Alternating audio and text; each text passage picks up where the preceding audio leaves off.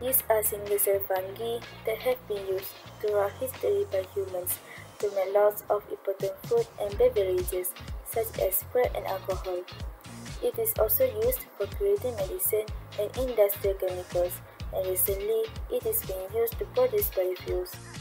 Yeast respires anaerobically, or in other words, this is called fermentation. The energy produced by fermentation will be used for metabolic functions such as yeast growth later on.